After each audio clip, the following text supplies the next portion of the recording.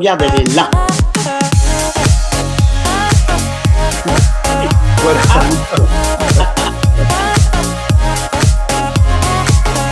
Regarde, j'arrête la musique, je leur explique le mouvement sans musique, je remets la musique.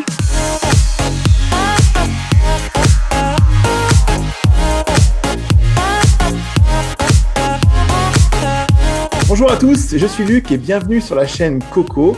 C'est une joie pour moi de vous retrouver sur la chaîne.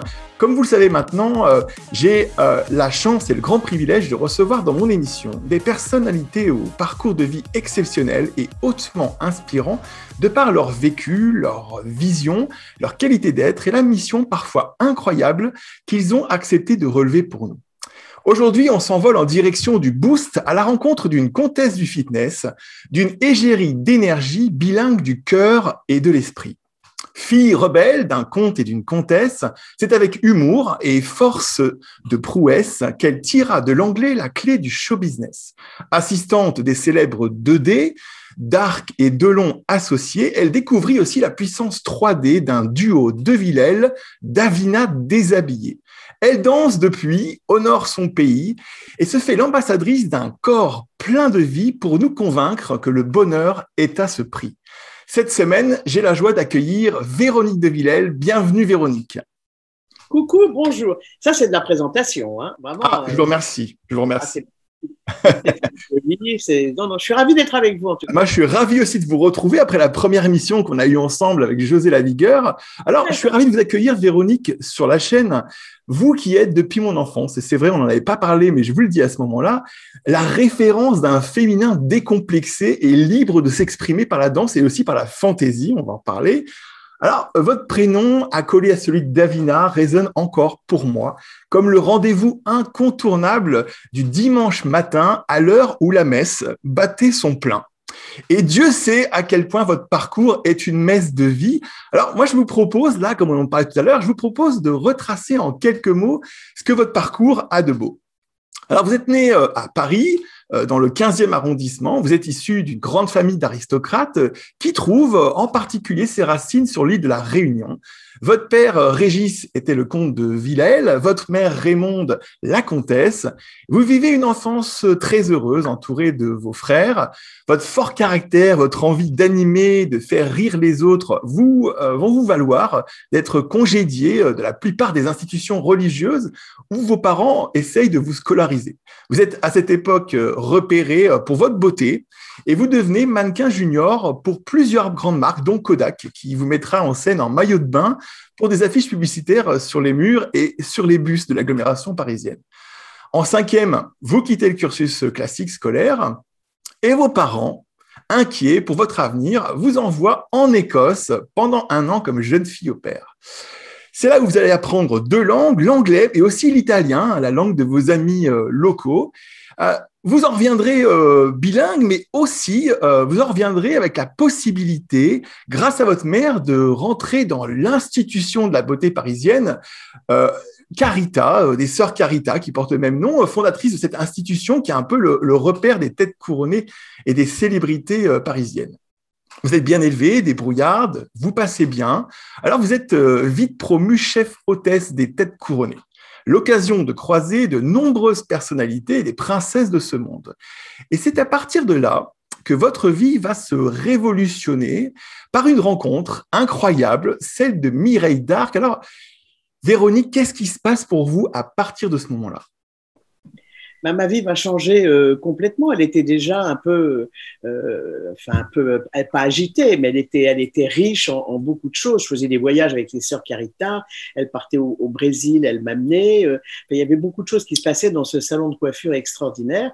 Et à partir du jour où effectivement je rencontre Mireille Darc à l'accueil où elle était en train de partir et de régler sa note, il y avait une dame américaine qui avait un souci et la jeune femme de chez Carita ne comprenait pas ce qu'elle voulait dire.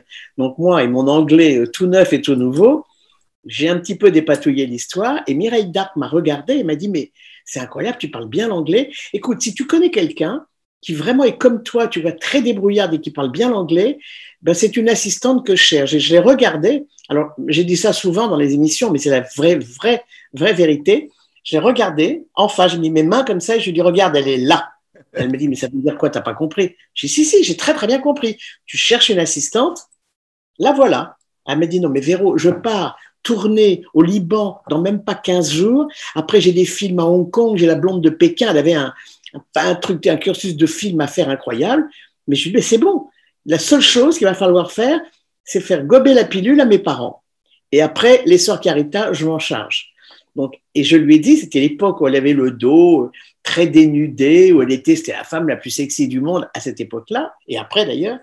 Et je lui ai dit, euh, en revanche, si tu viens voir mes parents, faut absolument, mets-toi un col roulé. Et on s'est amusé toutes les deux avec cette histoire du col roulé. Et elle est venue en col roulé. Elle était très stricte, comme c'était une femme absolument délicieuse, charmante et très bien élevée. Mes parents ont été sous le charme. Et puis voilà, j'ai eu leur feu vert. Et puis voilà, en gros, ce qui s'est passé, ça c'est mon démarrage avec Mireille. Après, c'est 50 ans d'amitié. Euh, J'étais officiellement son assistante pendant 18 ans, ainsi que celle de, d'Alain. Et voilà, je les ai accompagnés absolument euh, partout. Ils me considéraient comme leur petite sœur, donc j'étais pas, j'avais pas un rapport de euh, comment, comment vous dire, je travaillais pas, c'était pas mon patron, ma patronne, je sais même pas ce que c'est ça. J'étais vraiment, je l'étais non-stop avec eux et je gérais tous les petits problèmes euh, euh, de la journée. Où est, où est, la voiture? Il faut, enfin, des, des un billet d'avion, euh, un, un, truc à organiser, une soirée, etc. Et j'ai fait ça pendant 18 ans. Vous avez quel âge à l'époque, au début, avec, les, avec Mireille Darc J'avais 17 ans quand j'ai commencé avec Mireille, parce que mon point de repère chez Carita, c'est que j'avais pas encore mon permis de conduire. Ah, ok. Donc voilà mon repère. Je suis très mauvaise dans les dates, mais ça, pour moi, c'est un, c'est un repère. Alors évidemment, on parlera un peu de tous les éléments parce que euh, là, le début, c'est le début du show business, mais après, il y a quand même l'événement qui va faire votre vie. Il hein, faut dire ce qui est. Nous, on vous connaît aussi euh, et surtout pour cet événement-là. Alors donc après, il y a le, le, la, la, rentrée en fait avec Davina dans le monde de la télévision. On en reparlera plus précisément après. Mais alors, comment c'est venu ça? Ben, c'est venu que j'étais très amie à l'époque avec France Gall, la chanteuse que vous devez connaître, mmh. qui est vraiment une très, très, très grande amie et très, très proche. Et là, je me, entre-temps, je me marie et mon mari devient aussi très ami avec Michel Berger. Donc, on était tous les quatre tout le temps, tout le temps, tout le temps ensemble, les maisons de vacances, les, les week-ends, les plats de pâtes chez les uns ou chez les autres. Et un jour, France Gall me dit, écoute, j'ai entendu parler d'une femme qui donne des cours à l'église américaine euh, de Paris. Tu veux pas qu'on aille voir ce que c'est? Il paraît qu'elle est très sévère. Ben, je lui dis donc c'est une bonne prof alors parce qu'un prof il doit être sévère. Et on est parti avec mon mari et Michel Berger. Ils nous ont attendus dans la voiture. On a pris ce cours complètement, mais on était sous le charme. Et en même temps, on disait, ben, dis donc, elle n'est pas aimable, elle est désagréable, mais alors qu'est-ce que son cours est bien? Et on, a été accro, on y retournait, je crois, deux fois par semaine. Et un jour, euh, Davina m'a dit, je cherche quelqu'un qui a ton, ton, profil dans tes mouvements, etc. Et je prépare un grand prix de, de chorégraphie en Suisse. Ce serait génial que tu le prépares avec moi. Et je lui ai dit d'accord. Alors on a travaillé comme des dingues. Donc là, faut pas oublier que pendant ce temps-là, je suis toujours l'assistante de Mireille Darc et d'Alain Delon. Et que quand Alain a besoin de moi, il a besoin de moi. Il était hors de question que je lui dise, écoute, je suis dans un studio de danse, je répète, donc quand j'ai vu que c'est des choses commençaient vraiment à devenir importantes, mmh. j'ai fait un, un espèce de, de, de, avec Alain de, de, de gentleman agreement et j'ai fait seulement euh, de, demi-temps de mon temps, c'est le cas. Et ça s'est très très bien passé. Donc là, à cette époque-là, ben, je voyais toujours Mireille et Alain, je travaillais toujours avec eux, mais je répétais, je répétais. Après, on est parti euh, en Suisse faire ce, ce, grand concours avec 300, euh, je crois que c'était 325 ou 360, je ne sais plus, compagnies. Donc on avait zéro chance, hein, mais zéro. On était mmh. archi inconnus. Mmh. Euh, moi, la, la, danse contemporaine de Davina était quelque chose d'assez nouveau pour moi, avec une grosse base de danse classique. Et eh ben on est parti et figurez-vous que ça s'est très très bien passé. On avait Claude Bessy qui était dans le jury, Serge Liffard, Serge Liffard, qui est le, un des plus grands danseurs du monde, qui aujourd'hui aurait 110 euh, ans, il avait déjà 90 ans à l'époque. Et, et, voilà, donc on a, on a eu ce prix, ça a été formidable, on est rentré à Paris. Claude Bessy nous a demandé de, une audition qu'on a faite chez elle, mmh. un dimanche matin, dans son sous-sol, dans sa maison de, je ne sais plus où elle habitait, côté de Paris. Et ça, c'est un énorme souvenir, mais un énorme souvenir. On se disait en bagnole, mais tu te rends compte, on va danser pour Claude Bessy. Ah oui, Donc, on a refait le ballet des mouches, de, de, qui s'appelait Les Mouches de, de Suisse et elle nous a dit OK, vous allez partir à l'Opéra de Toulouse au Capitole. Et puis voilà, les choses sont. En fait, les choses sont non-stop venues euh, à moi et à nous avec Davina, tout le temps. On n'a jamais rien demandé. L'histoire de la télé, elle a démarré dans notre sous-sol au Trocadéro. Donc, euh, c'est complètement incroyable. Si je retrace euh, toutes les choses importantes qui me sont arrivées, je me dis, mais comment finalement c'est possible? Sans piston, euh, sans quelqu'un qui, qui, nous dit, bon allez, on va faire ça, je vais t'aider, on n'a jamais, jamais, jamais eu une aide extérieure que de nos, nos, compétences. On faisait un truc, on essayait de le faire bien, et puis une journaliste tombe sur nous, et puis une femme de la télévision, notre productrice Pascal mmh. aussi, et les choses se sont vraiment, mais, et ça a duré 30 euh, ans, 25 ans. Alors, ce qui est étonnant aussi, moi, je trouve, euh, dans, votre histoire par rapport à Gin Tonic, c'était que c'est quand même la première émission People.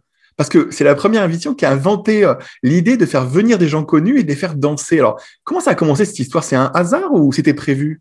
Ça, c'est un, un, truc de conversation. Moi, j'étais évidemment très ami avec euh, Mireille Darc, Alain Delon et France Gall et Anthony Delon que j'adorais et mm. quantité d'autres gens. Et tout le monde me disait, dis donc, ton émission, qu'est-ce qu'elle est bien? Si un jour tu veux que je vienne, moi, je la fais avec toi. Et on nous l'a dit tellement souvent qu'avec Davina, on s'est dit ce serait peut-être pas mal d'avoir une, une, petite ouverture en fin d'émission où hmm. on invite des people et des, des gens euh, sympathiques euh, qui veulent faire du sport. Et ça a démarré comme ça.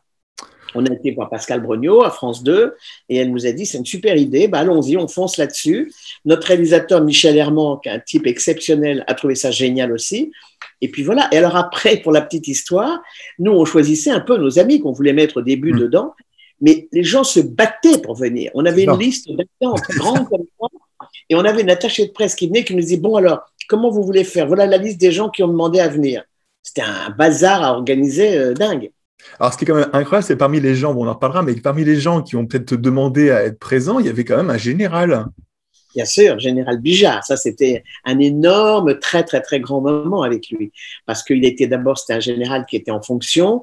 Il avait euh, toutes ses étoiles et il était très très sympathique. À l'époque, il était ministre des Armées, député, euh, sénateur. Enfin, il avait un titre absolument mais colossal.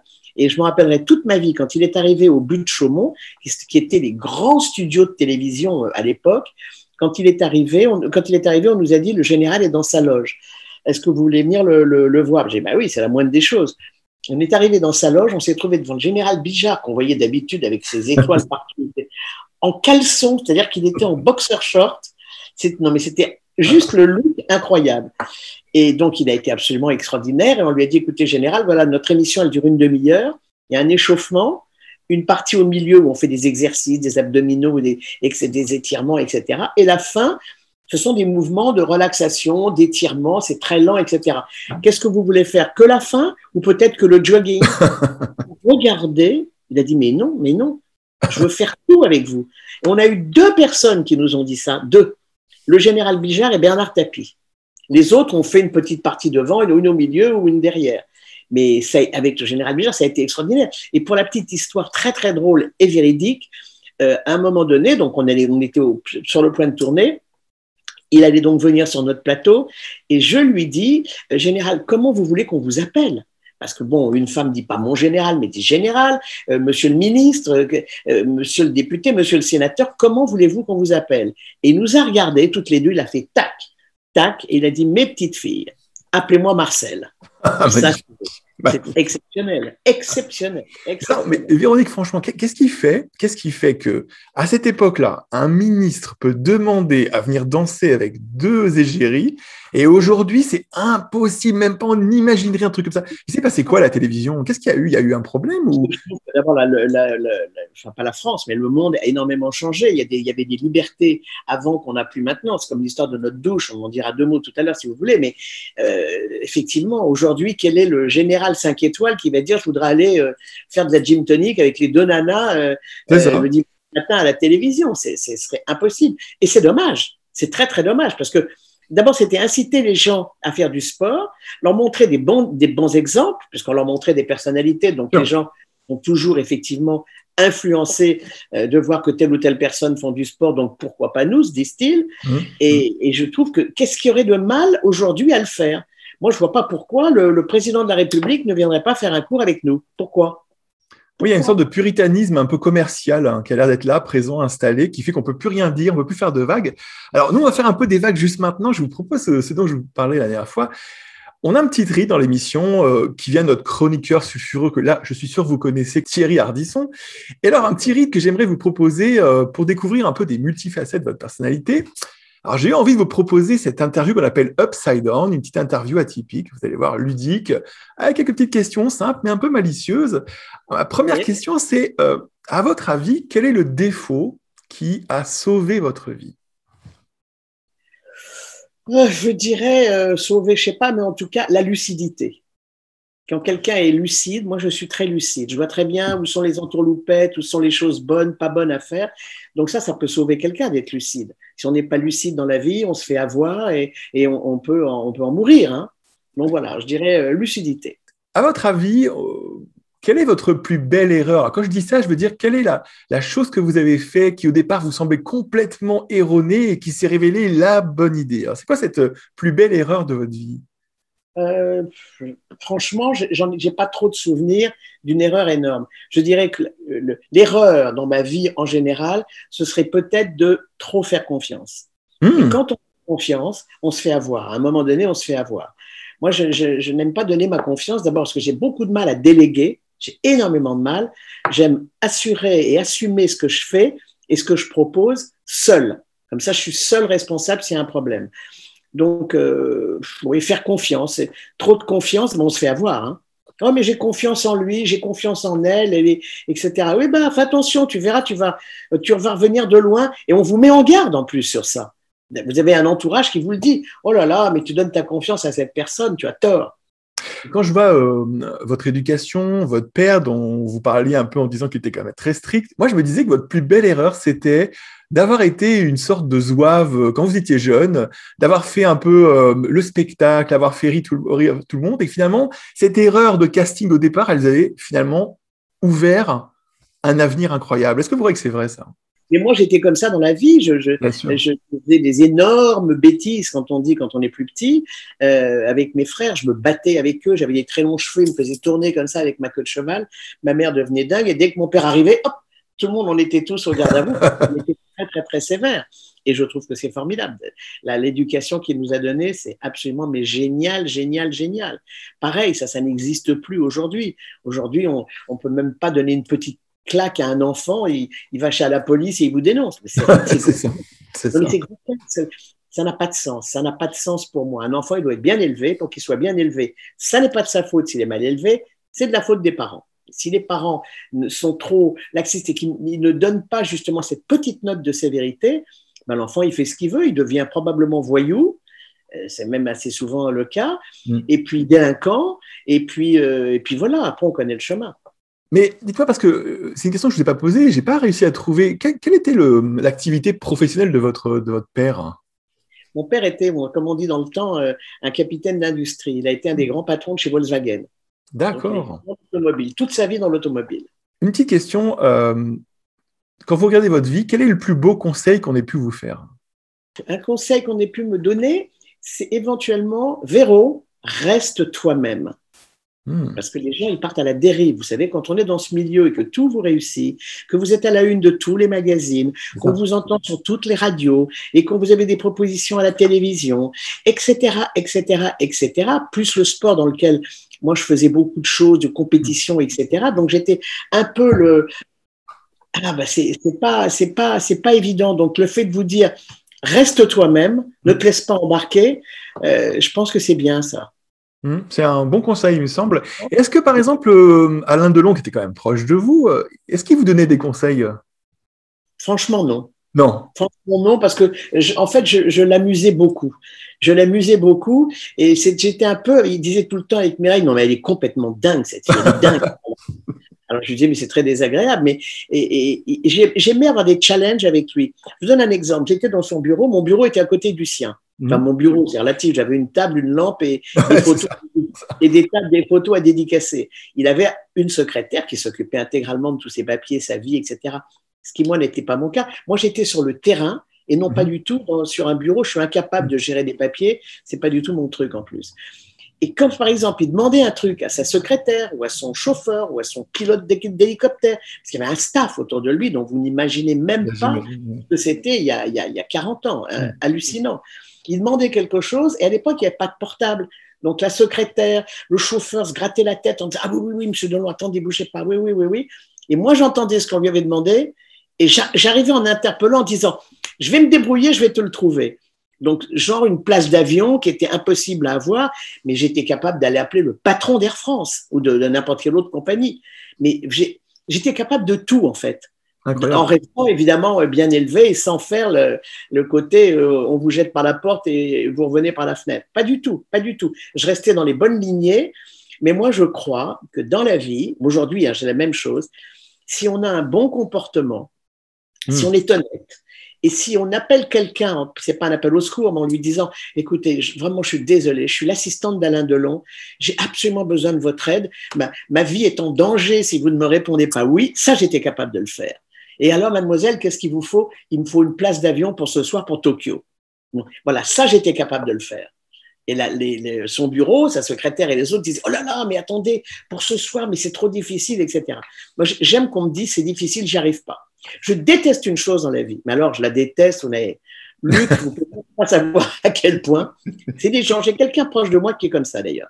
Je le nommerai pas, mais il va nous écouter, il se reconnaîtra. Vous, vous dites à quelqu'un, vous dites à quelqu'un, écoute, est-ce que tu pourrais pas par hasard me déposer un paquet Avant même d'avoir entendu ce que vous allez lui demander, la personne vous regarde, ah non, non, non, non.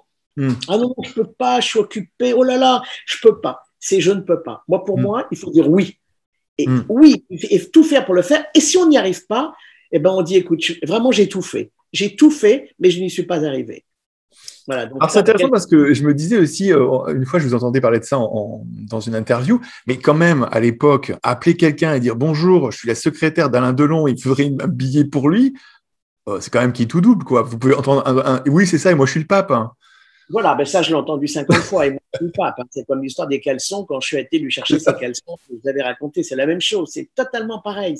Il faut juste faire les choses non pas avec du culot, il faut du culot. Il hmm. faut du culot. Moi, j'appelle ça très dégourdi. Ce que disait d'ailleurs Mireille de moi. Qu'est-ce que tu es dégourdi? Je dis ben non, j'ai pas les pieds dans la glaise à attendre que ça passe. S'il faut faire quelque chose, il faut le faire. Mais ce qui est amusant de, de, rappeler, c'est que là, j'ai 18 ans. Donc à 18 ans, euh, on n'est pas complètement sur le terrain. Je suis entouré de stars gigantesques. Bah moi, quand je partais au studio de Boulogne, accompagner euh, Alain euh, dans sa loge, il y avait à côté de lui la loge de Jean Gabin. J'étais la seule personne qui avait le droit de rentrer dans la loge de Jean Gabin. Et celle de Delon, je rentrais, je sortais, je rentrais, je sortais.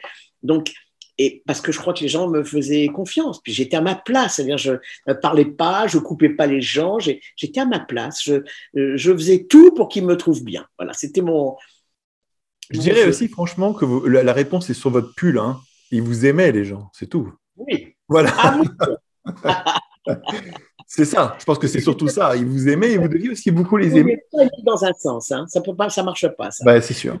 J'aime les gens, mm. j'aime faire plaisir mm. et ils me le rendent. Vraiment, ils me le rendent. Vous savez, j'ai mis un petit mot là sur ma page Facebook il y a quelques jours. Je mets les photos de mes cours parce que je sais que mes élèves adorent ça et qu'elles attendent, elles attendent, elles sont à peine sorties du cours que tout de suite elles regardent si j'ai déjà posté. Et j'ai toujours des mots, mais d'une gentillesse, mais complètement mais incroyables et qui sont naturels. C'est pas euh, on va faire de le, lèche-botte avec la coach, absolument pas ça. Mais des mots extrêmement euh, forts. Vous êtes en train de me sauver la vie. Euh, vous vous rendez pas compte ce que vous faites pour nous, etc. Je ne fais que mon métier. Je donne un cours. J'essaie de le faire le mieux possible et de m'occuper des gens quand ils sont là. Tout le monde dans mon cours est concerné. Je, je crois qu'on ne peut pas trouver une personne aujourd'hui qui ait pris mon cours Mm. qui soit sorti du cours et qui ait dit Oh, ben, elle m'a même pas regardé. Alors, ça, ce serait le, la pire chose pour moi. En tout, cas, c'est parce, que, c'est parce qu'on voit de l'extérieur, parce qu'elles sont un petit peu votre, vos petites protégées, quoi. C'est ce que je leur dis quelquefois. Mais de, les gens me disaient Mais vous avez des chouchous. Je me bien Devant, je veux des gens qui travaillent bien et qui me connaissent depuis longtemps, premier rang. J'appelle ça les danseuses étoiles de ma classe parce qu'elles vont entraîner le mouvement. Moi, je bouge, je vais corriger, je, je regarde, j'arrête la musique, je leur explique le mouvement sans musique, je remets la musique. Et devant, je veux qu'il y ait des leaders. Et quelquefois, les gens qui ne savent pas ça me disent Ah oui, mais alors devant, c'est vos chouchoutes. Ben non, ah ben non. Non, non, vous, vous, passez devant quand vous voulez. Alors soyez parfaitement. Euh, alors quelquefois, j'en fais passer devant, ce qui était le cas aujourd'hui, et je leur dis bon, vous avez de la chance, c'est une promotion. les femmes sont très contentes. Oh là là, premier rang. Et elles ont les chocottes hein, en plus. Ah, c'est la promo. C'est la promo. Donc tout ça est très amusant, mais je le fais avec beaucoup de cœur et de, lucidité, c'est le cas de le dire. Mais vous savez, c'est un échange. Moi, j'adore donner, mais j'ai beaucoup de retours. Donc c'est le plus important. Alors, une petite question un peu étrange, mais je vais vous demander euh, si vous pouviez vous cloner, ce qui est quand même pas encore possible, si vous pouviez vous cloner, euh, qu'est-ce que ferait l'autre Véronique comme activité professionnelle? Alors, je vous réponds tout de suite, je réfléchis même pas, elle serait avocate. Eh, étonnant Alors là, je n'aurais pas parié sur cette réponse. Hein. Eh ben, vous voyez. Incroyable. Et comment ça vous vient ça? J'ai souvent eu envie quand j'étais quand j'étais encore euh, à l'école euh, d'être avocate parce que je trouve que c'est un aller défendre quelqu'un c'est extrêmement important. C'est comme quand on mm. défend quelqu'un dans la vie, euh, deux enfants qui s'engueulent, vous allez prendre la défense, vous allez leur expliquer comment, pourquoi, etc. Et quand il y a des, tellement d'injustice, moi je l'injustice me tue. Mm. Et je me dis qu'un avocat, s'il est pareil, honnête, ben, il doit pouvoir défendre. Alors, à moins d'avoir un criminel qui a 35 ans de prison, et encore, ça, c'est autre chose. Malheureusement, il est quand même obligé de le défendre. Mais avocat, on défend des gens. Et ça, c'est un truc qui me plaît beaucoup, beaucoup. Hmm, intéressant, intéressant. C'est vraiment pas une idée que j'aurais eue euh, directement. C'est fou, hein, parce que. Alors, et vous pensez que quelque part, les gens que vous avez rencontrés, parfois, tous ces gens connus, vous avez essayé un peu de les défendre dans leurs intérêts? S'il y a quelque chose qui est injuste et qu'on en parle, je donne mon avis, mais je donne très fortement, très fortement, bien appuyé. Hmm. Alors, si vous êtes un tout petit peu, euh, pas influençable, mais si les gens vous font confiance, bah ça, ça, ça marche. C'est ça. Hmm. Donc là, oui, oui, je fais, je fais quelques fois, ça, bien sûr. Hmm. S'ils disent, attends, si Véronique dit ça, tout d'un coup, les gens ont une espèce de confiance qui est d'ailleurs mal placée, parce que finalement, je peux très bien être une, une vraie truand et ne pas faire juste. Je l'ai fait quand même très juste, donc pas d'inquiétude.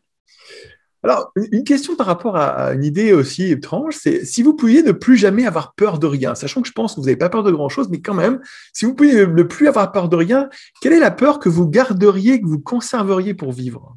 Je ne sais pas, moi, il n'y a qu'une peur qui, me fait vraiment peur, sinon rien effectivement trop. Enfin, je dirais même qu'il y a deux choses. Mais il y a la, vraie, ma vraie peur, c'est la maladie. La maladie est quelque chose qui me, qui me touche beaucoup parce que j'y euh, pense. Pour ça, la maladie, tout d'un coup, on, est, on peut être très beau, très riche, très amoureux, très amoureuse, etc. Vous êtes malade, ben vous êtes malade. Et là, il n'y a pas, a pas 36 solutions. Faire confiance à la science, au bon Dieu si vous êtes croyante, ce qui est mon cas. Euh, donc la maladie me fait peur. Et la deuxième chose, qui est beaucoup plus ridicule, mais que j'ai honte de dire, j'ai une peur mais hallucinante des souris. Rien que de dire le mot souris là avec vous en ce moment, ça me donne des frissons. Incroyable.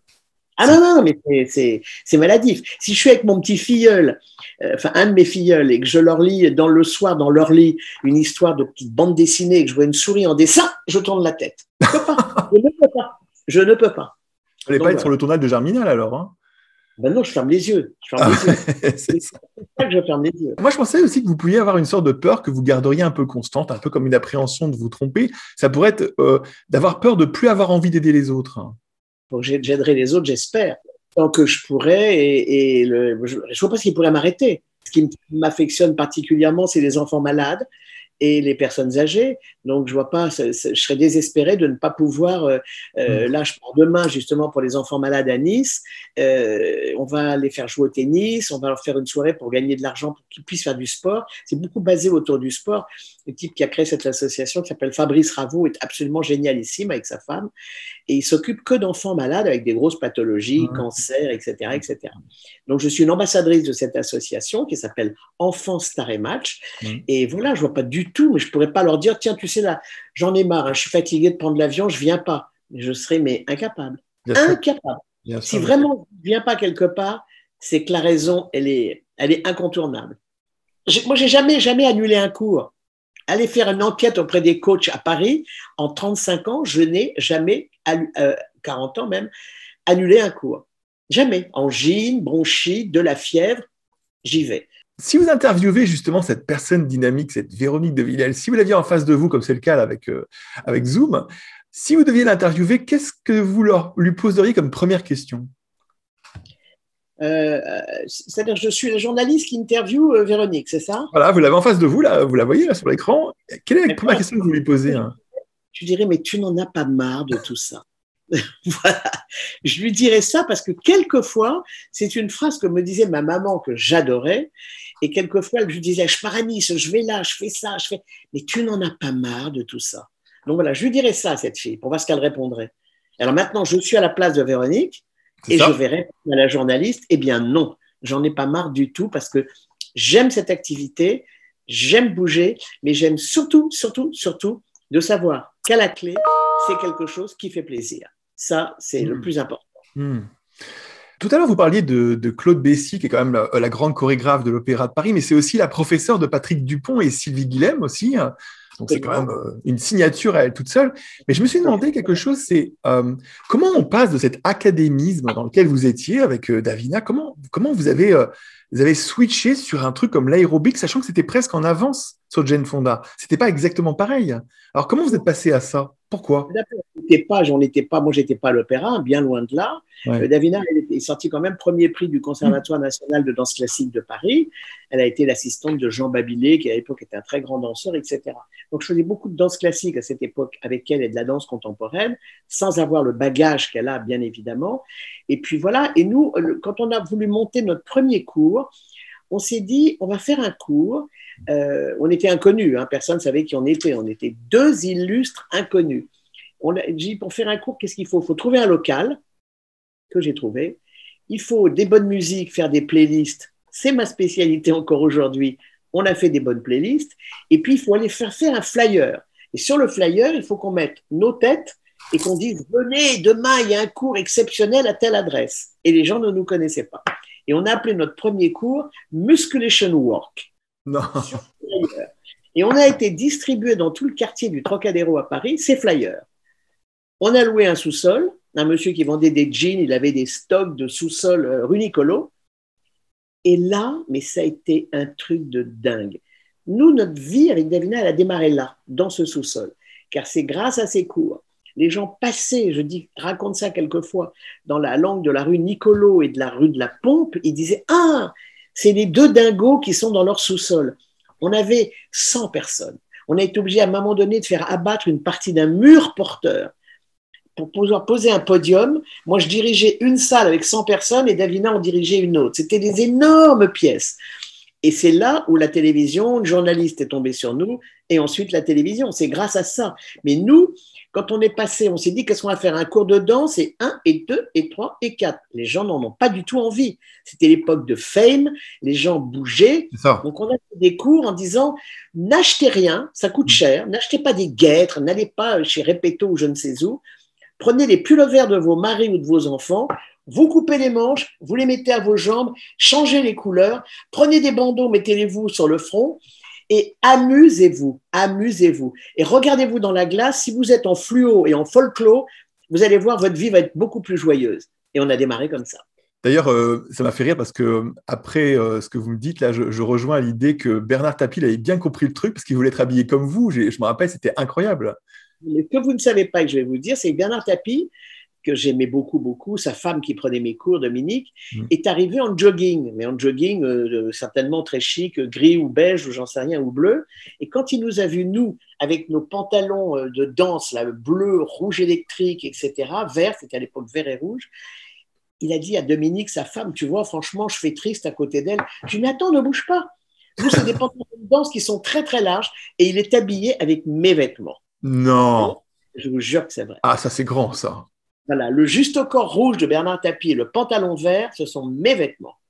C'est incroyable. C'est incroyable.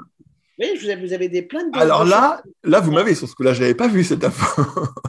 Alors, alors moi, j'ai su que lorsque vous avez lancé en fait Gin Tonic, il y a eu plein de problèmes. Vous avez été attaqué, on a considéré que c'était dangereux pour la santé et même, incroyable, on a fait passer le bruit que Davina était morte pendant l'émission. Alors, c'est quoi cette histoire? Alors, c'est vrai qu'on a, on a été très critiqué au début, mais quand on a essayé de, piocher un peu, de savoir d'où ça venait, ces attaques, etc., c'était en fait toute une délégation de profs de gym qui pensaient qu'on avait, été, qu'on avait atterri à la télé et que nous étions sans diplôme. Donc, on a joué cette carte à la demande de Pascal Brognaud de continuer. Nous, l'image qu'on voulait faire passer, en tout cas France 2 par rapport à nous, c'était de dire, bon voilà, deux femmes sympathiques, elles donnent des conseils, suivez-les. Mais si on commence à arriver en disant, regardez, je suis médaille d'or du ministère Jeunesse et Sport, et je suis ci, et je suis l'autre, etc., on avait tous les diplômes. On les avait tous, et croyez-moi, on en a un bon paquet. Donc, on a joué cette carte. Donc, ça, ça, ça a énervé. Toutes ces... Il y avait des profs de gym volontaires qui auraient adoré être à la télé avec nous, euh, euh, tout seul même. Il y avait des groupements de gym, de je ne sais quoi, de quartiers, les répétitions des gyms, des sapeurs-pompiers. Enfin, c'était un bazar pas possible. À tel point qu'il y a eu une émission qui, à l'époque, était très, très connue, qui s'appelait Droit de réponse, avec Michel Polac. Et Michel Polac nous a invités dans son émission, et on avait en face de nous tous ces gens, mais ils étaient la moitié du studio. Nous, on était les seuls, de toutes les façons. On n'avait pas de soutien, on n'en avait pas besoin. On était un peu sûr de nous quand même. Bah Et là, ils ont commencé à dire Mais vous ne vous rendez pas compte, sans diplôme, ce que vous faites, c'est extrêmement dangereux. Donc, moi, j'étais comme ça, je les ai regardés, j'ai dit Ah ouais, c'est dangereux. ah oui, pas de diplôme, c'est là, ça, c'est nul. Et puis voilà. Et finalement, on s'est bien débrouillé parce que le lendemain, il y avait un, un journal qui s'appelle François on a été à la une de François le lendemain de cette émission. Et il y avait marqué Véronique et Davina, elles en ont dans les gambettes, mais elles en ont aussi dans la tête. Et ça, c'était un compliment que j'ai trouvé formidable parce qu'on s'était défendu. Arrêtez, arrêtez, allez-y, faites-le quand même, vous cherchiez pas la renommée, le succès. Ce euh, C'était pas vraiment le, fer de lance de, la motivation commune avec euh, Davina. Et, pourtant, Gin Tonic, c'est devenu euh, à tel point une référence que vous aviez 12 millions de spectateurs le dimanche matin, voire 16, j'ai appris, avec la troupe du Crazy Horse. Donc ça, c'est c'est incroyable. Et comment vous avez géré cette célébrité? Parce que du jour au lendemain, on peut plus vivre, quoi. On est, on est, on est visible de partout. On s'en fichait complètement on n'est pas rentré dans ce truc de star system parce que c'était euh, les gens nous suivaient dans la rue en bagnole quand même. C'était ils dormaient sur le capot de notre voiture. Il y avait des roses coincées sur le rétroviseur. Enfin non, c'était euh, complètement. Et le courrier, le courrier qui arrivait à France 2, je crois qu'aujourd'hui encore, j'avais parlé de ça avec une journaliste, ça n'a jamais été euh, égalé. C'est-à-dire qu'on avait une pièce avec tous les sacs postaux pour notre émission. C'était phénoménal. Et, dans le tri, on répondait à tout le monde, enfin, on était aidés pour le faire, mais on répondait. Et il y a une petite histoire qui est très, très drôle, très mignonne. Il y avait les gens qui me préféraient moi et ceux qui préféraient Davina, ce qui est logique. dans, les dans les préférences de Davina, il y avait un type qui s'appelait Henri. Il écrivait toutes les semaines Salut ma belle Davina, euh, alors je t'explique, je suis à Fresnes, il était à la prison, en prison le mec, je suis en prison, mais tu sais, je suis un type très bien, là, je vais sortir bientôt, j'en ai plus que pour 30 ans, donc vous imaginez. j'en ai plus que pour 30 ans et je suis un type très bien je vais te retrouver. Toute ma cellule, il y a que des photos de toi, tu es tellement belle, etc. Et toutes ces lettres terminées par dis salut à l'autre. Et l'autre, c'était moi. Donc j'étais très vexé. terriblement vexé. Donc on a eu plein de choses comme ça, très très drôles. Et on faisait des concours aussi. On a fait des petites poupées Véronique et Davina, qui ont été un très très gros succès, énorme succès, énorme, qui étaient vendus partout dans tous les supermarchés de, France et d'ailleurs, Belgique aussi beaucoup, et, euh, dans les, sur les, stations-service dans les autoroutes. Et on avait un jeu avec Davina quand on partait danser à, Lyon ou je ne sais où ailleurs, c'était de se dire, quand on faisait l'essence, on dit, attends, on va regarder dans toute cette région, la Aquitaine, qui préfère, toi ou moi? Alors on regardait les rangées de poupées, et s'il y avait plus de brune, bah, ça, veut, ça veut dire que moi, il préférait Davina à moi, évidemment. Et si c'était le contraire, donc on connaissait l'amour que les gens nous portaient dans telle ou telle région, en Alsace, en, Poitou, je ne sais où, en fonction des rangées de poupées dans les, Excellent. sur les présentoirs. Parce que moi, j'ai vu les poupées, mais je les ai vues en duo, toujours vendues par deux. Elles étaient vendues aussi en solo alors? Ça a démarré en solo. Mmh. Une histoire incroyable. Ça a démarré en solo. Une petite brune, une petite blonde. Et dans les boîtes, c'était sur des blisters. Véronique, Davina, et on était habillés des, tout petits vêtements, de nos vêtements à nous euh, de mm. base. Mm. Ça, ça a eu un succès, mais complètement dingue. Mais quand je dis dingue, dingue. Donc, euh, France 2 et le fabricant de jouets a dit ce serait bien quand même, c'est les fêtes de Noël. On va peut-être les réunir, les deux, et on va leur mettre des projecteurs et un petit studio de télévision ce qui a été le cas. Les boîtes sont grandes comme ça. Dedans, il y a les deux poupées, Davina et moi. Il y a des projecteurs dorés posés comme ça. Il y a une petite caméra. Il y a une petite table de maquillage. Il y a toute une installation de plateau de télévision. Et mm. alors ça, ça a été... Je crois qu'il n'y a pas une petite fille en France qui n'a pas eu cette boîte. C'est incroyable. Elle n'est pas chère du tout. Et ça a été mais incroyable, incroyable. Voilà, donc en ayant démarré chacune de notre côté. Et alors, je me disais, pendant ce temps-là, il y a le comte et la comtesse qui regardent ça à la télévision qui vous, qui vous suivent strictement ou délicatement. Et comment, comment ça a été pour eux de voir tout ça? Il s'est passé quoi pour vous après? En réunion de famille, on parlait de quoi? Alors, bon, c'est vrai que je suis d'une de grande famille, d'Aristo, très bien, mais j'ai euh, j'ai une famille extrêmement moderne. J'ai des parents, j'avais, malheureusement, ils m'ont quitté, il y a, maman, il n'y a pas très longtemps. Et ils étaient absolument extraordinaires, très dans le coup, très modernes. Mon père avait une façon de parler, il jurait comme un malade. On a, je jouais beaucoup au golf avec lui. Il jurait sur ses balles et, et des putains et des merdes, et je vous en passe, et des meilleurs. Et ça, je trouve que c'est une, une marque que j'adore parce qu'il pourrait être beaucoup plus, euh, etc. Donc, des, extrêmement modernes.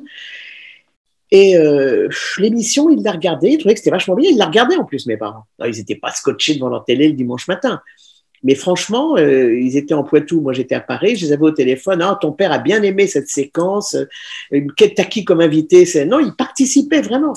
Ma grand-mère était folle de l'émission, donc elle m'appelait. Alors elle, c'était ma plus fidèle euh, téléspectatrice. Donc ma famille a très très bien réagi. Je crois que ça les a bien amusés.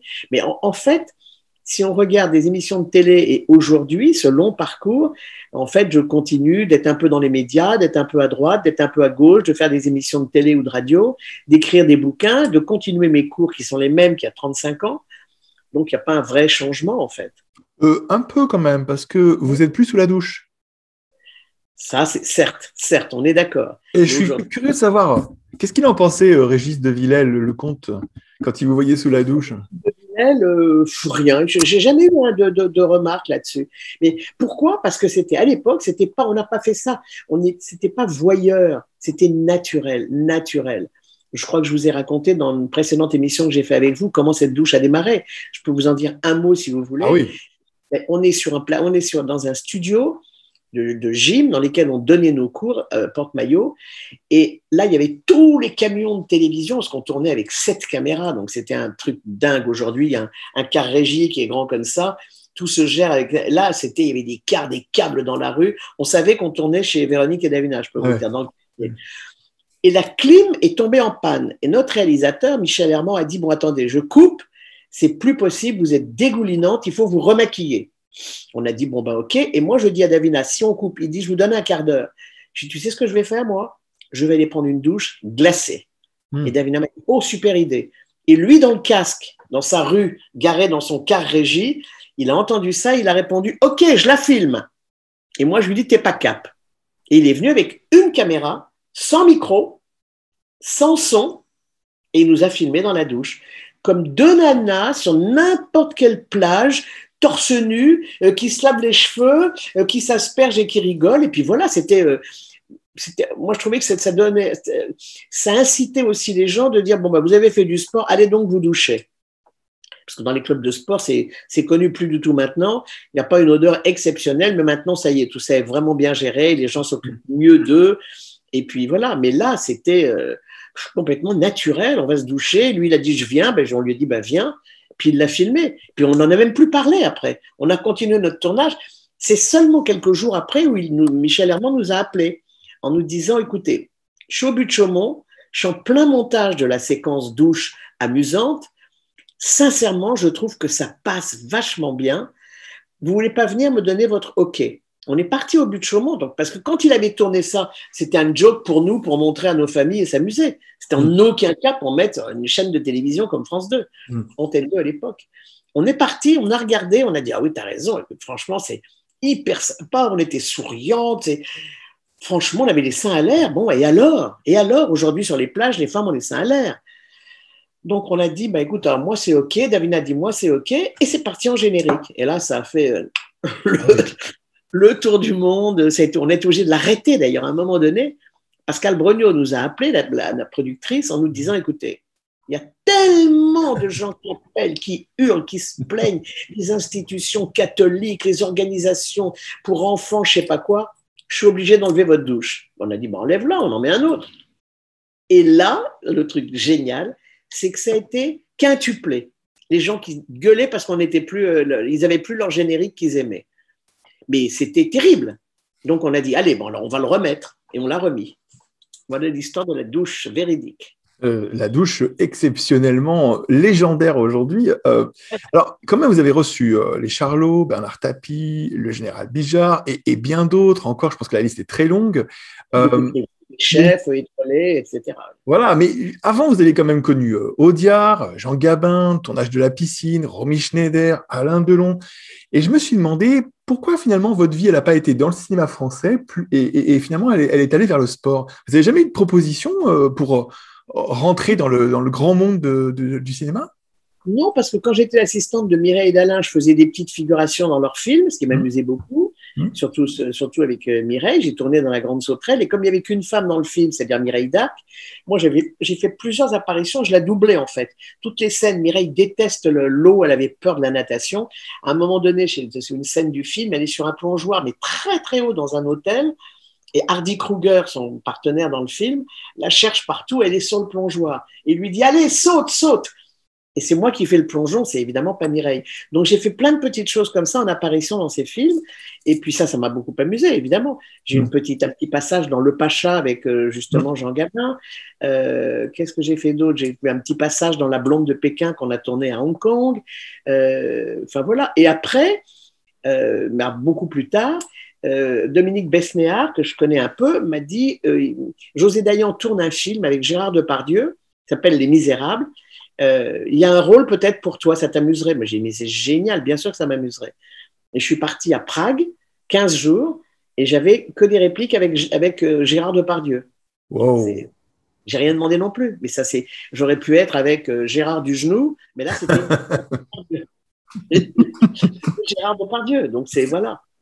Alors après, bon, pourquoi j'ai été vers le sport Parce qu'on a eu cette opportunité de télévision, parce que la vie a fait que sur notre chemin, c'était ça qui fonctionnait euh, bien. Voilà, je, cinéma, il aurait fallu que, que, je tourne et qu'on me propose des choses très importantes, ce qui n'a pas été le cas. Mais avec 12 millions de personnes qui vous regardent tous les dimanches, vous n'avez pas eu des propositions annexes d'autres émissions en solo euh, à côté de ça? Non, pas vraiment. On a eu des propositions, on en a eu beaucoup, mais c'était surtout des propositions commerciales. On mmh. a refusé, toutes systématiquement. Mmh pour être l'égérie du saucisson, je sais pas quoi, mmh. euh, l'égérie de... donc ça, on a tout refusé dans ces trucs-là. Nous, ce qu'on voulait faire, c'était des vêtements qui nous correspondent, des poupées et des choses qui soient à notre, à notre image, que on n'ait pas l'air de dire on est deux femmes, on fait que du fric, etc. Ce qui n'était pas le cas. Mmh. Ah, bien sûr, on en a fait, mais automatiquement avec les droits dérivés. C'est comme la musique. La musique a été un tremplin exceptionnel pour nous. Mm.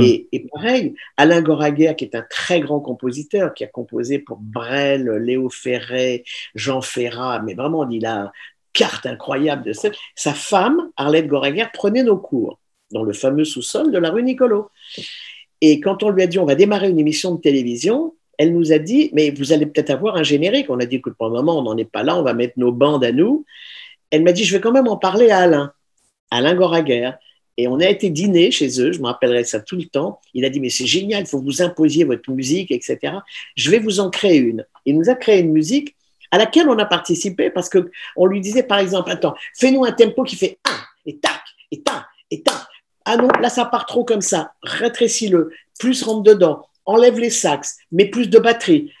Et il a, fait tout ce qu'on avait envie de faire avec ce générique qui s'appelle tout, tout, tout, tout, et la petite histoire sur les voix, il y avait une femme à l'époque qui était très très connue, qui malheureusement est, décédée, c'était Carole Frédéric, qui oui. Jean-Jacques Goldman, une femme de couleur magnifique, mm. et c'est elle qui fait les pa pa pa pa pa pa pa appuyées de nos deux voix à nous. Donc aujourd'hui, 45 ans après, nous sommes les heureuses euh, je ne sais pas comment on peut dire, on touche des droits à la SACEM de ce titre-là, qui sont des tout petits droits, parce que Goraguer, évidemment, euh, était très bien défendu, ce qui n'était pas notre cas. Il a eu tous les droits très importants. Et ça a changé sa vie. Lui, je peux vous dire que ça a changé sa ah bah, vie. J'imagine, c'est une signature, ça aussi. Hein. Donc, c'est amusant, parce que les voix, et, moi, quand j'écoute le générique, je connais ma voix et je me reconnais. Je, reconnais tout à fait les tout, tout, tout, tout. C'est incroyable que vous reconnaissiez ça dans le mélange. C'est incroyable. Ah oui, oui, oui, si, je reconnais complètement. Alors, à un moment donné aussi, dans votre vie, il y a un moment donné où l'épopée qui a duré des années s'arrête du jour au lendemain. Et euh, est-ce que vous avez un peu de, distance par rapport à ça? Est-ce que vous savez pourquoi ça s'est arrêté d'un coup? Il s'est passé quoi? Ah ben ça, je sais pourquoi ça s'est arrêté. ça s'est arrêté d'abord pas vraiment d'un coup, mais Pascal Brugnot, euh, notre émission, elle a duré sept ans, donc au bout de cinq, six ans, six ans, je crois, euh, savait que ça marchait. Donc les enveloppes qu'on lui confiait pour faire ses autres créations d'émissions, on en avait plein à l'époque, Sexy Folie et, et, et d'autres dont je me souviens plus les noms, s'est dit, bon, bah, Véronique et Davina, ça marche comme sur des roulettes, je vais mettre l'accent sur Sexy Folie et sur d'autres émissions. Et on va faire un an de rediffusion avec les émissions de Véronique et Davina. Et c'est ce qu'on a fait. Sauf que malheureusement, il n'y avait pas notre regard ou celui de notre metteur en scène. Ça a été fait dans la production classique, etc. Alors ça donnait ça à peu près le 25 décembre. On regardait des gens, on leur disait coucou, regardez avec les cocotiers, on est à l'île Maurice. C'est joli, hein, regardez. On est au mois de décembre. Ensuite, au mois de juillet, on disait alors, vous n'avez pas froid On va vous réchauffer. Regardez la neige derrière nous, on est à Avoriaz. Tout était décalé. Les hmm. gens pensaient qu'on se foutait un peu d'eux. Et ils avaient raison. Donc, on a dit écoutez, je pense que c'est mieux d'arrêter. On va faire un an sabbatique. On a dit d'accord. Et le un an sabbatique, je ne connais pas d'émission qui reviennent après un an sabbatique. Ça n'existe pas. Vrai. Donc, bon, bon, on arrête un an, c'est très bien, on va faire autre chose. Et ça n'a pas repris. Mais la chance, une fois de plus, qu'on a eue, c'est qu'on a été contacté par une grosse chaîne, mais vraiment très importante au Maroc, pas qu'au Maroc d'ailleurs, qui couvre tous les pays du Maghreb, qui s'appelle Deuxième International, qui appartenait au, roi du Maroc. Et là, on nous a dit, écoutez, votre émission, elle est tellement, mais incroyable, magnifique, est-ce que vous voulez faire la même au Maroc? Et nous, avec Davina, on s'est dit, ça, ça va être compliqué parce que, bon, Maroc, j'ai beaucoup d'attaches au Maroc, vraiment, vraiment euh, familiales, etc on s'est dit, franchement, je suis pas sûr qu'ils soient à la hauteur pour faire ce qu'on a, nous, à Paris, les Louma, les, directeurs photos, les assistants, les secrétaires. On avait un staff autour de nous. Qu'est-ce qu'on va les faire au Maroc? Et moi, j'étais obsédé par, le fait de dire, tu imagines, Davina, ils ont peut-être une petite caméra, ils vont nous éclairer avec une lampe est très ironique et pas gentil, mais bon. Et ils ont tellement insisté, on y a été pour voir. Et quand on est arrivé à Casablanca, ça a été une histoire incroyable. Le chauffeur est venu nous chercher. On est arrivé sur une chaîne de télé en dehors de Casa avec des bâtiments, ce serait cru à la NASA, à la NASA. Alors chacun montrait les badges, les trucs et les machins. Et quand on est arrivé, on nous a fait visiter cette chaîne, qui est probablement la plus belle chaîne de télévision du monde. On a eu la chance de travailler dans beaucoup d'endroits, partout. On a fait des télés à Hong Kong, des télés à Los Angeles, partout. Et là, c'était une pure merveille, exceptionnelle avec des moyens de dingue, des cars régis hallucinants. Donc on a dit, OK, banco, on tourne. Deux choses. On veut notre réalisateur et notre maquilleuse. Ils ont évidemment accepté. Et on est parti avec notre maquilleuse et notre réalisateur. Et on a fait trois ans d'émission, ou deux ans, trois ans, je crois, exceptionnel, mais exceptionnel. On a tourné dans des endroits sublimes, dans des jardins majorels, on a tourné au milieu de la Mamounia, etc. Et ça a été un succès, mais exceptionnel, extraordinaire. Les gens, pour nous voir, ils se mettaient dans les arbres. Non. la, la Mamounia, quand on savait qu'on tournait là, était entourée euh, d'arbres, etc. Les gens étaient dans les arbres pour nous voir sortir. C'était l'aventure Maroc, ça a été un truc mais de dingue, de dingue. Combien de temps ça a duré ça? Deux ans et demi, je crois. Deux ans et demi. Euh, la dernière fois qu'on s'est vu avec José Lavigueur euh, pour Même Karma, Good Karma, euh, je vous demandais en plaisantant quelles avaient été les embûches de votre vie, et puis c'était plutôt en résumé des bûches de Noël dans votre vie et pas des embûches. Alors, vous êtes, vous êtes consciente que vous avez de la chance, je sais que vous, vous savez ça, mais je me demandais, un, temps, je vous ai entendu dire, ça ne peut pas non plus tomber du ciel, il faut, il faut aussi travailler. Alors, c'est quoi votre rapport à la chance aujourd'hui? Comment ça marche la chance pour vous? Ce que vous venez de dire est très juste. Ça, tout ne tombe pas du ciel. Euh, moi, je pense que dans la vie, si on travaille et qu'on est courageux, c'est courageux, courage et travail alors là, peut-être que la chance va venir vous sourire. Mais hmm. si vous êtes euh, couché sur votre canapé à regarder la télé en vous disant, bon, alors personne m'appelle pour faire une émission de télé, ah ben ça c'est dingue alors, euh, vous l'aurez jamais votre émission de télé. Mais si vous faites connaître ce que vous faites, vos cours, votre compétence, euh, ce que vous faites pour les autres aussi, parce que les gens sont très sensibles à ça. Hmm. Donc à un moment donné, ben, les gens disent, ah oui d'accord, donc elle fait pas que lever la jambe à la télévision. Donc voilà, mais, mais c'est un gros travail, hein, parce que les émissions, on les préparait comme des dingues, comme des dingues. C'était, on avait des, des dessins qu'on mettait au sol, où est-ce qu'on allait mettre les danseurs qui nous accompagnaient en fonction des tailles. Moi, je gérais tous les costumes, Davina. On avait une, c'était une usine à gaz, hein, une usine à gaz. Mais finalement, si je comprends bien, euh, votre regard sur la chance, c'est que quelque part, la chance, c'est comme une proposition à des gens capables de la tenir et puis de la transformer en quelque chose. C'est ça, en fait? Oui, c'est ça. C'est exactement ça. C'est ah, exactement ça. On vous propose un truc, mais alors ne le laissez pas tomber. Hein. Occupez-vous-en hmm. bien. Fait, ben nous, on a dit, on va faire de notre mieux. De notre mieux. Moi, quand Delon me disait dans son bureau, euh, euh, Véro, j'ai besoin de toi pour faire ça et ça et ça et ça, t'es capable? Je lui dis, mais bien sûr. Après, il faut faire. si vous dites bien sûr, bah, il faut y aller. Hein.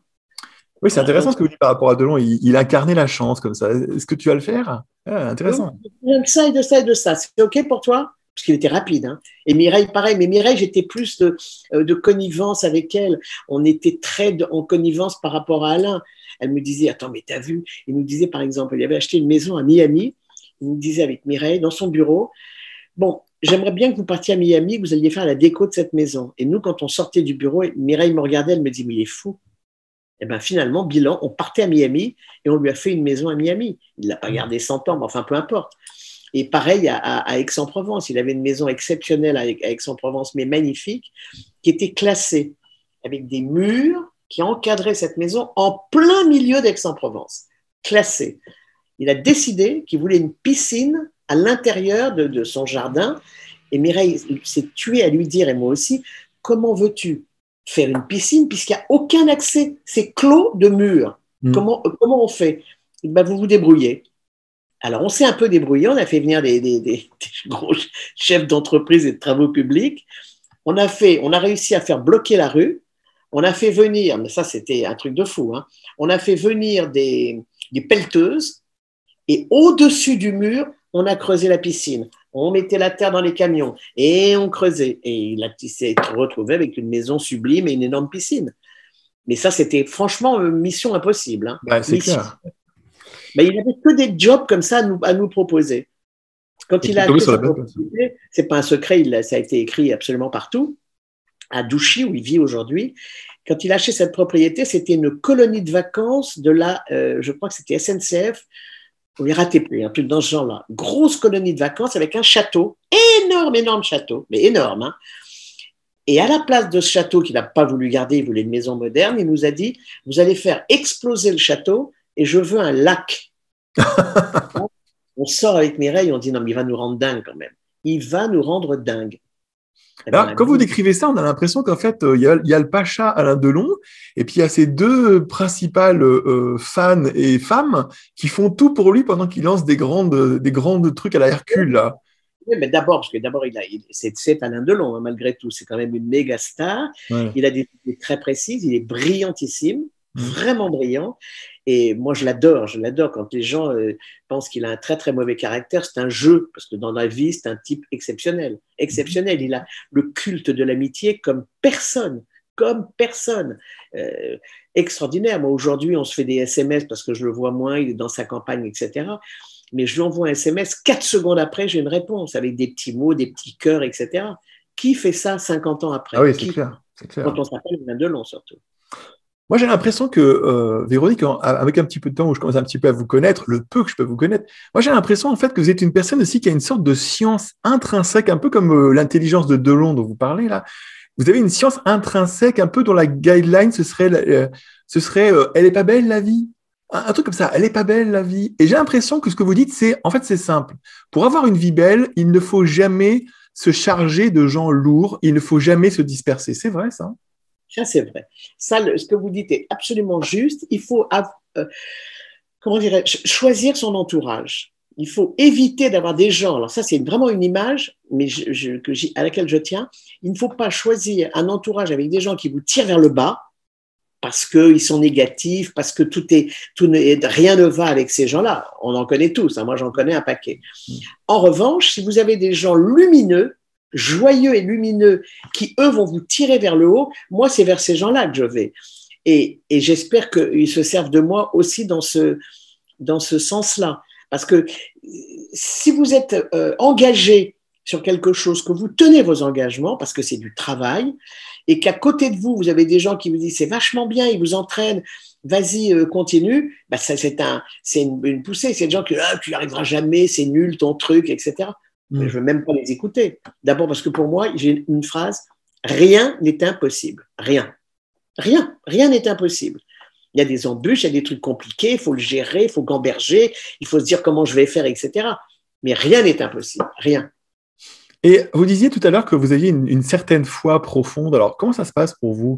Comment c'est ça, ça Est-ce que ça anime votre carrière cette foi? Comment ça se passe? N'anime pas complètement, mais je suis bon. Je suis de, religion catholique.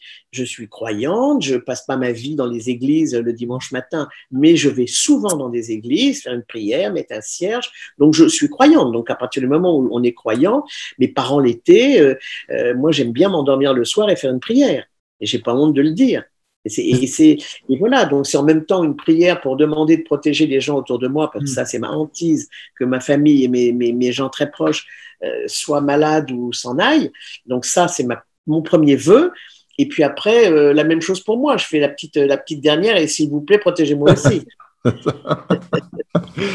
euh, on, va, on va bientôt terminer l'émission, mais vous voyez, euh, il y, y, a des paroles magnifiques de Jean-Jacques Goldman euh, qui disent donner l'envie d'avoir envie. Et, et, et, moi, je trouve que ça résume votre mission dans ce monde. Vous en pensez quoi de ça? Vous êtes adorable parce que moi, je dis très souvent dans mes interviews, euh, je cite pas Jean-Jacques Goldman, mais je dis Johnny Hallyday parce que c'est lui qui la chante. J'ai dit regardez cette chanson de Johnny, donnez l'envie d'avoir envie. Moi, quand je rentre dans mon cours le matin euh, au cercle de la forme où, où j'officie, j'ai envie que les gens aient envie de revenir. Si c'est pour leur donner un cours et qu'ils rentrent chez eux en disant Ah, j'ai pris un cours avec la fille de la télé, c'était sympa, il y avait des bonnes musiques et que cette personne ne revient pas, ça ne m'amuse pas. Moi, j'ai envie de fédérer. Je veux qu'il y ait du monde, du monde, du monde et encore du monde. Et euh, j'aime bien aussi l'idée de dire que cette femme qui a pris mon cours pour la première fois m'a dit oh, Vous me donnez tellement envie de continuer, donnez l'envie d'avoir envie. Ça, c'est gagné. Euh, hier, un truc très drôle. Hier, ça, c'est incroyable même. Je donne mon cours, cercle de la forme. Ma salle était pleine à craquer. Et au fond de la salle, il y a une porte par laquelle les gens rentrent, etc. Et je vois la porte qui s'ouvre. Moi, je suis sur un podium. J'ai tout le monde devant moi. Eux, ils sont de dos. Et je vois cette femme qui rentre et qui reste comme ça, droite, les bras le long du corps et qui regarde. Elle est arrivée, quoi, 20 minutes avant la fin du cours. Oh oui, facilement 20 minutes. Et pendant 20 minutes, elle a regardé, elle a scruté mon cours, elle m'a écouté, elle a écouté ma musique, elle a, j'ai arrêté la musique, j'ai corrigé, elle a entendu que j'étais très sévère. Quand je suis très sévère, deux secondes après, je suis drôle pour détendre un peu l'atmosphère. Et puis voilà, c'est tout. Elle, elle est repartie, la porte s'est fermée. Je me suis dit, bon, bah, c'est une dame qui venait regarder, hein, c'était évident. Je termine mon cours et quand je sors, elle m'attendait à l'accueil, à la, à la, réception du club de sport, pour me dire, ah écoutez, je n'ai pas de voix, j'ai vu votre cours, je suis en train de m'inscrire, mais je vais venir avec plein d'amis qui cherchent un club de sport. Et ça, c'est un truc que je trouve extraordinaire. Hmm. Ah, elle m'a dit, je vais venir, on va être plusieurs, parce qu'alors là, oh, oh là là, votre cours, oh là là, votre cours. Bon, quand on me dit ça, mais je passe une très bonne journée hein, derrière. Vous savez aussi redonner envie. Et il y a cette histoire avec cette femme qui est venue vous donner un petit papier avec quelques mots, quelques lignes. Moi, je trouve que ça, ça, vraiment, ça illustre cette histoire de redonner envie. Vous pouvez nous en parler? Bah, C'est une femme qui prenait mon cours, mais j'en ai beaucoup, et, en l'occurrence, qui était médecin. Hmm. Et euh, elle prend mon cours. Au début, je la trouve un peu sèche, un peu limite pas sympathique. Et puis elle prend le cours, elle prend le cours, et au fur et à mesure que le cours avance, cette femme commence à être un peu plus euh, souriante, un peu. Je sentais, je savais qu'elle aimait bien le cours. Au début, c'était pas gagné, mais là, je le sentais. Et à la fin du cours, elle est dans son sac, je la vois en train de trifouiller dans son sac, moi je range mes musiques, etc. Et elle me dit, tenez, vous le lirez plus tard. Pas de problème. Je prends sa petite enveloppe, je l'ouvre dans ma voiture. Il y avait tous ces titres médicaux absolument incroyables. C'était une professeure, donc, mais avec des titres complètement incroyables. Et elle m'a dit, vous êtes le meilleur médicament du monde. Quand un professeur de médecine me dit ça, mais moi, elle m'a fait ma journée, hmm. ma journée. Et cette femme est revenue très, très, très, très, très souvent euh, dans mes cours, très souvent. Mais vous êtes le meilleur médicament du monde. Je trouve que c'est magnifique. Moi, je suis contente quand on me dit ça.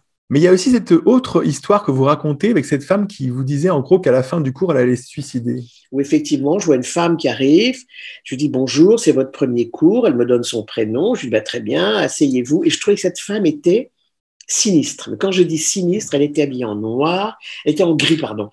Elle avait le teint gris, elle avait des cheveux gris qui pendaient. Tout était d'une tristesse, mais absolue, absolue, absolue. Elle a pris le cours Et avant, pardon, avant de prendre le cours, elle vient et elle me donne une enveloppe. Je suis la reine des enveloppes en mots cachés. Et elle me dit, vous pouvez le lire, s'il vous plaît, contrairement à l'autre qui me dit, vous le lirez après. Je lui dis, vous êtes gentil, mais je ne vais pas lire maintenant. Donc, je prends l'enveloppe, je la pose et je lui dis, maintenant, je démarre mon cours. Ah non, non, non, non, non, non, il faut que vous le lisiez maintenant. Ah, je lui dis, non, non, vous savez, ici, c'est moi qui dirige mon cours. Donc, elle ne va pas faire la loi dans mon cours. Soyez gentil, asseyez-vous. Je vous promets que je le lirai avec beaucoup d'attention. Elle est repartie très mécontente. Elle a pris le cours.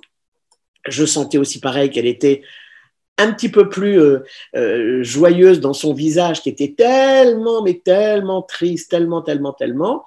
Et puis à la fin du cours, j'ai pris le mot, j'ai regardé et, c'était écrit, mais et total, à la lettre.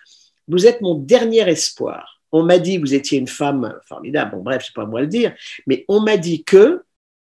Alors, je vais regarder ce que vous allez me faire, mais je vous êtes mon dernier espoir. Sinon, je veux en terminer avec la vie aujourd'hui. Donc, le jour du cours, je me suis dit, aïe, la vache Ah, la vache hmm. C'est extraordinaire, hein Terrible. donc euh, voilà, et cette femme a pris mes cours pendant très très longtemps. Alors pour la petite anecdote, pour que ce soit plus gai et plus joyeux, et c'est vrai, elle, elle s'est fait un clan d'amis, parce qu'il y a des zones d'amis, c'était un club de rencontre en fait, mes cours, ni plus ni moins. Elle est arrivée habillée en bleu marine, en rouge et en rose. Elle a fait des, choses sur ses cheveux. Elle était plus ou moins blonde. Personne ne la reconnaissait, mais personne, moi la première. Et quand quelquefois on me dit vous avez changé ma vie, là par contre je suis sûr que là j'ai fait quelque chose pour cette femme. Ça c'est sûr, sûr, sûr.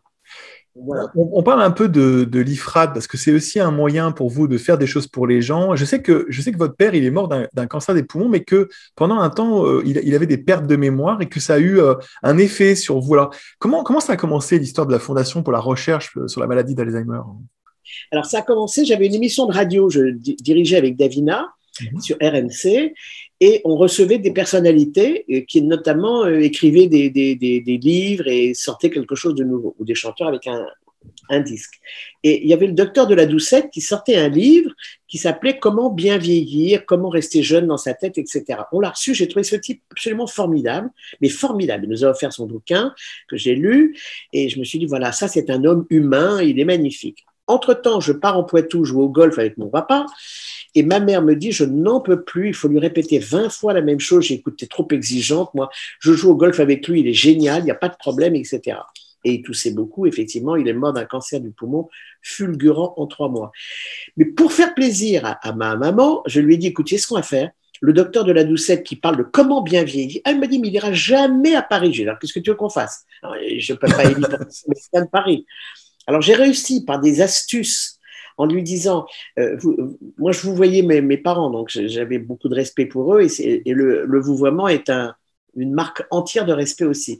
S'il vous plaît, papa, faites-moi confiance. Venez passer un week-end à Paris.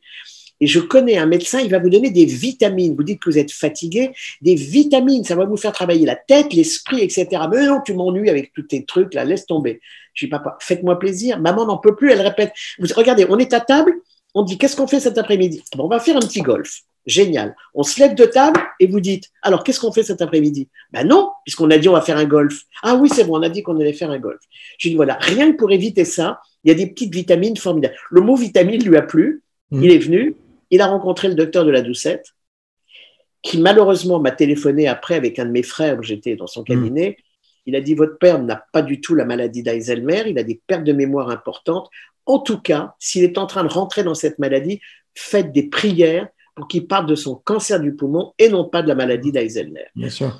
bien, merci docteur, je suis rentré chez moi et ce médecin m'a appelé pour me demander comment j'allais. Moi, j'étais effondré, qu'on me dise que mon père était malade, c'était la fin du monde pour moi. Et ce médecin, le docteur de la Doucette, m'a appelé, il m'a dit, écoutez, j'aimerais bien vous revoir. J'ai été le voir, il m'a dit, j'ai une idée. Moi, j'allais chez lui pour euh, crier au secours. Hein. Qu'est-ce qu'on peut faire? Donnez-moi des, des médicaments. Qu'est-ce que je vais faire si mon père meurt? Enfin, c'était une catastrophe.